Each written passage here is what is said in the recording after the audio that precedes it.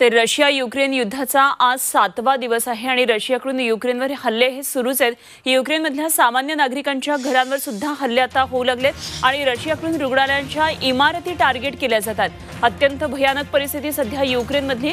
Russia आता सर्वसामान्य नागरिकांच्या घरांवर हल्ले करत असल्याचे व्हिडिओ युक्रेनच्या गृहमंत्र्यांनी जारी केलाय.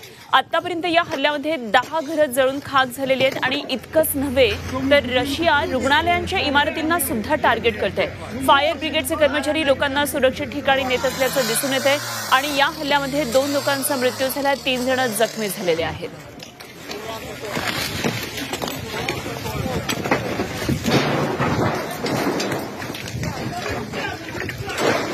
В этом доме есть человек, вот в этом доме.